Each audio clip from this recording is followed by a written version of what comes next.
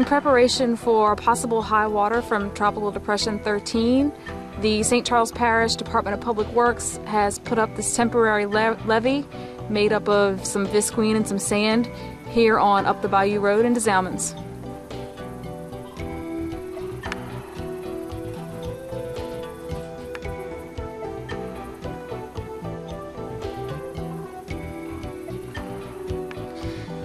This is a precautionary measure being taken by the parish just in case we do see high water here, just to protect the homes in the area.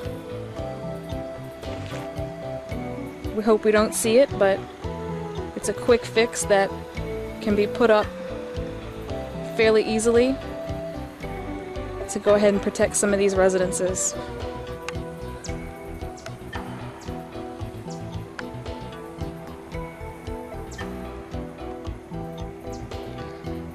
Be sure to stay tuned to Channel 6 or the parish website for more information throughout the entire weekend, possibly up until Tuesday while the rain comes in.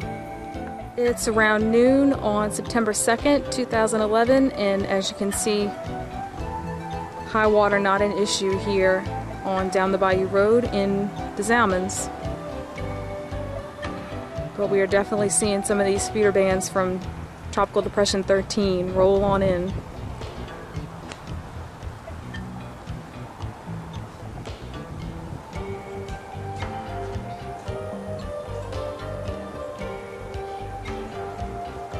Public Works will be working in this area a little bit later on today to complete work on some temporary levees to protect some of the citizens here from flooding if we happen to see some high water in this area.